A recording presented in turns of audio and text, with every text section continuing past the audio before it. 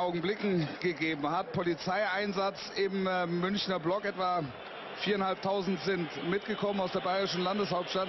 Wir können Ihnen nicht sagen, worum es ging, aber wenn wir uns die Bilder angucken, dann ist das ein unverhältnismäßiger Polizeieinsatz, wo auf am Boden sitzende, sich schützen wollende Bayern-Fans eingekloppt wird und das passiert Augenblicken gegeben hat. Polizeieinsatz im äh, Münchner Block, etwa 4.500 sind mitgekommen aus der bayerischen Landeshauptstadt.